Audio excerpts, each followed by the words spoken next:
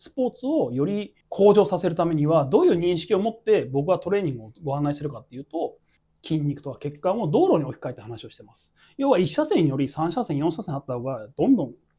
交通量いいよねとか、信号が赤がいっぱいあると動きが悪いでしょ？だから青信号に変えていきましょう。さらには、青信号よりも信号そのもなくてハイウェイの方がいいよねと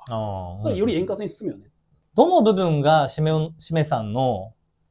らしさなのかみたいなすごい気になってて、うん、多分いろんな捉え方ができると思ってるんですけど、なんかどれだけの解像度でどういう方向で捉えられるかっていうのが一番大事にしてるポイントなんですよ。ブリッジ事業。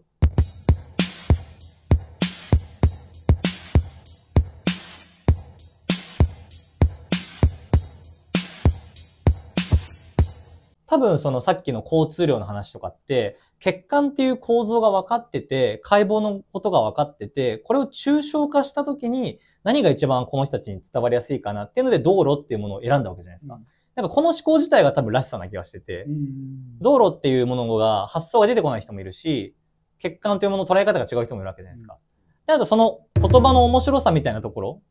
が、示すと、なんていうのかな、こう、着眼点っていう可能性もありますし、うん同じようなこと実は僕もあって、あの、エンジニアさんのお客様ってパーソナルジムの時は結構いらっしゃったんですよね。やっぱ体力つけたいっていう人多いじゃないですか。うん、で、やっぱ理学療法士なんで、えっと、〇〇さんの体今こういう風になってて、だから今日はこういう風に順序だ、順序立ててやりますみたいな話すると、やっぱあの、エンジニアさんが、その、コードに似てるってやっぱおっしゃってたんですよね。この、プログラミングの。体の運動連鎖でいう、その回をこう一つずつ解いていくような作業っていうのがコードに似てるって話をすごいされてて、なるほどって思ったんですよ。なので、僕個人としての普段の面白みっていうのは、二つある事象の共通点っていうのが何かっていうのを、いろんなところから探すのが好きなんですよね。ああ、なるほどね。はい。はいはい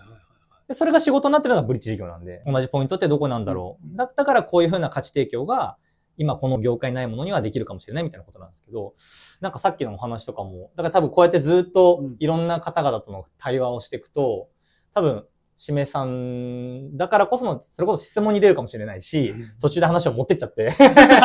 いろんな方に持っていくものかもしれないし、いろんな多分こう、出てしまうものっていうのが ある気がするんで、なんか楽しみですけどね、それは。健康の部分、ウェルネスの部分で、その、いろんなものが大事。その中でさ、さっき言った通り、怪我を繰り返す方とか、うん、骨折繰り返す方とかって本当俺も見てきたし、見てきて嫌だっていうか、うん、まあそういう思いから始まったずつじゃない？その中で、それを実現できたのって本当素晴らしくて、ちょっと羨ましいのよ。ちょっと羨ましいっていうのは、それを体現できるって本当すごいなと思っていて。うん。あ、こういう形があるんだと思えたの。うんうんうん。それでね、今やってるその会社のことが。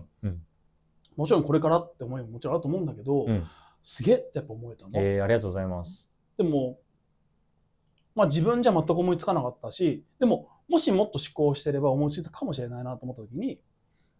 まあ尊敬と羨ましいって両方持つよね。うんうんうんうん、だけど別にそれが成か非かではなく、道が違うだけだから、要はゴールが一緒ならばそれでいいじゃんって思、うん、今思える、うんうんうん、若い頃は全く思えなかったけど、今思える。はい、だからそこで、まあ、このこの話ってすげえ刺激を受けてて、今、そこ年齢関係ないよね。そうですね。年齢はあんまり関係ないですね。それは僕も多分、今30ですけど、もっと下の人にもそうですし、どんどんこだわりがなくなっていくというかその自分でやりたいことへのこだわりっていうのと、それ以外の部分のこだわりっていうのって、昔は両方あったかもしれないのよ。でもその変なこだわりがなくなっていく、そぎ落とされていく感じだと思うんだよね。一つのことをうまく、その進めようと思った時に、それしかも進めてる場合って。うんだからその変な部分、要は中にはプライドだったりとかあると思うんだけど、それがなくなる分、周りに対してそういう変な、あれ、なんかあったとしても、ブレないでいられるのかなって思うんだけど、うんそこはどうかな？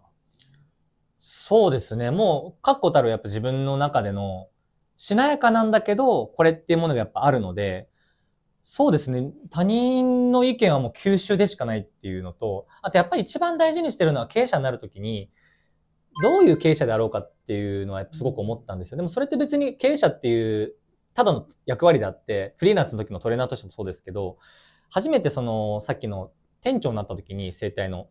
結構数人しかいない店長としてのスタッフのメンバーでも、結構悩んだんですよ。その時に先輩から、いや、リーダー像って、あの、星の数ほどあるから、内田らしいリーダーになればいいんじゃないって言われたんですよ。自分の中でのリーダーってこうだってものが、なったばっかの時ってあったんですよね。でも、そう、だから背中を見せる人もいれば、向き合ってあげる人もいるし、いろんなリーダー像があっていいんだってなった時に、それが自分経営者の時に思い出して、自分が経営者として何を一番大事にしなきゃいけないかなって思った時に、やっぱ圧倒的に素直でいようと思ったんですよ。うん、自分は。絶対このベルトっていう会社をうまくいかせたいし、絶対今一緒にやってくれてるメンバーたちのやりたいを形にしたいって思ったら、素直でいなきゃ無理じゃないですか。なるほど、ね、誰からでも吸収しなきゃいけないし、誰から聞いたものでも、それは子供かもしれないし、誰からでも吸収できてそれを絶対活かせる部分があるから、常にやっぱそういった思考とか姿勢でいないと、やっぱうまくいかないなと思ったんで、自分はやっぱそこは一番大事にしてますね。素晴らしいね。いや、素晴らしくはないと思いますね。そんなことないですけど。でもやっぱめ一番大事にしてますね。それは。ででも自分もこうなりますよ、やっぱり。こう、ちょっとなんか、あ、これちょっとなんか、今ざらついたなみたいな時やっぱあるんで、なんていうんですかね、ちょっと調子乗りそうな時とか、ちょっと今なんか自分の意見の方が強かったなとか、今なんか素直じゃなかったみたいな時絶対あるじゃないですか。常にそこはもう、ここをやりながらだとは思うんですけど、やっぱり自分は自分のこと気づくじゃないですか。あ、これはってやっぱ気づくんで、そこには僕はやっぱ嘘つかないようにっていうのは、もう練習しながら。ああ、でもまあ、それがまた向上心というかね。そうかもしれないですね。うん、はあ、すげえな。いや、そんなことないですけど。いや、だいつもね、はい、俺本当さっきちょっと言ったけど、そのスタートがそもそも遅いわけよ。この業界に入ること自体が。それは別に気にはしてないんだけど、うん、かといってもう45にもなる年になって、まあやっぱりこの、しめさん45なんですか ?45。若っ。45。15年ぐらいこの業界いいんだけど、はい、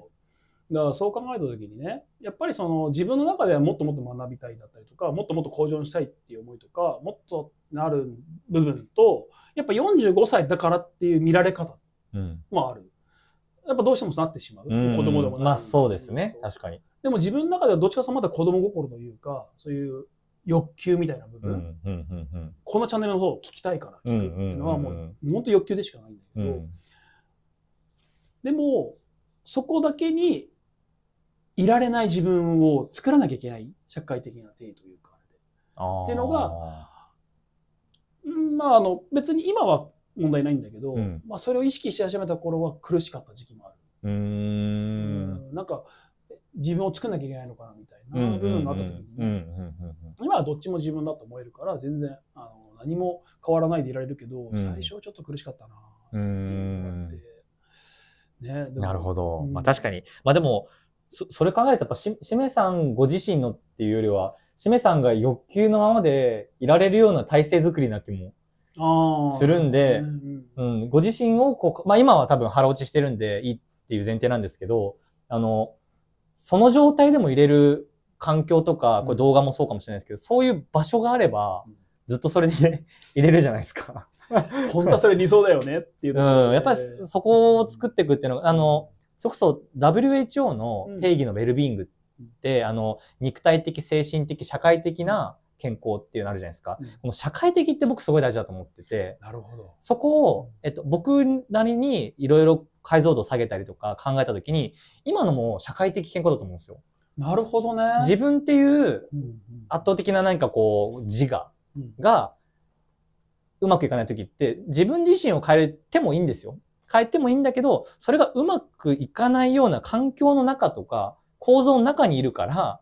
うまくいかないだけであって、ちょっと違うとこ行ったらもしかしたらそのままでもいいって可能性もあるじゃないですか。そういう場所を作れればさえ。はいはいはい。ってなると、それも僕の中だとソーシャルのウェルビーイングだと思ってて。はあ。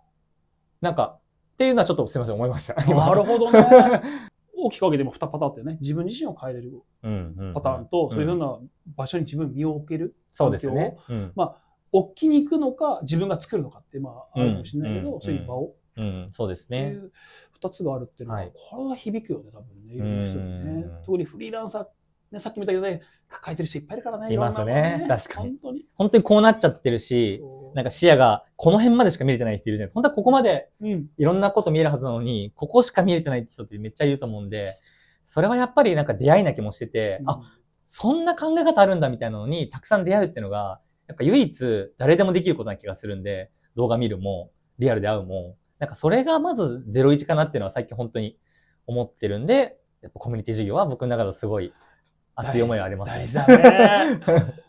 でもそれ、これもそれに近しいよね。そうなると。近いです近い形だよね。近いです、近いですよ。俺はだって学ばしてもらったりとか、うんいろんな話をして、うん。で、かといって方向性似てるけど、違う感性を持ってる二人が喋ってるから、多はい分うち自身もなんかちょっと感じる部分、もしはいくは新しく響く部分っていうのが、もしかしたらゼロじゃないってうん。だから、うん。それはそれでお互い相乗効果だなと思うし。そうですね。本当それは思いますね。はあ、うん意外とこのチャンネルいいな。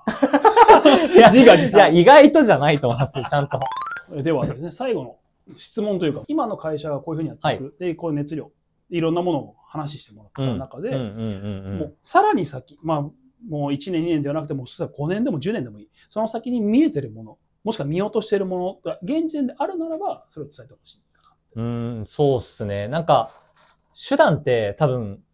変わるじゃないですか。それ時代もそうだし、もう本当年単位でどんどん変わっていくんで、そこにあんま固執しようっていうのも全く思ってなくて、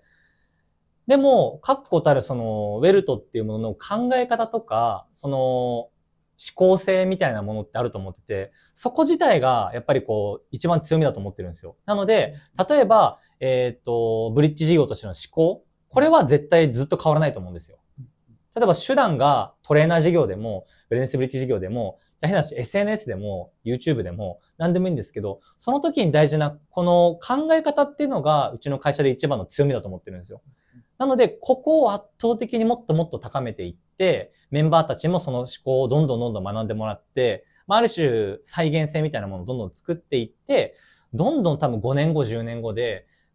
多分ウェルネスかけるってところは変わらないので、やることとしては。